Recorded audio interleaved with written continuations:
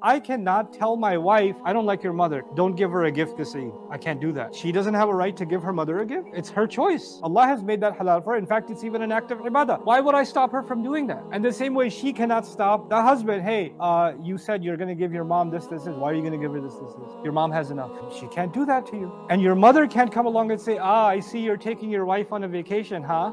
Don't take me on a vacation. Your wife has a right. And you, you, your mom can't come and impose her judgments on how you're going to spend on your spouse. So you're stuck in the middle. Everybody hates you because whoever you spend on, you make somebody else angry. Congratulations on being a man. The idea is that you're mindful that you're being fair.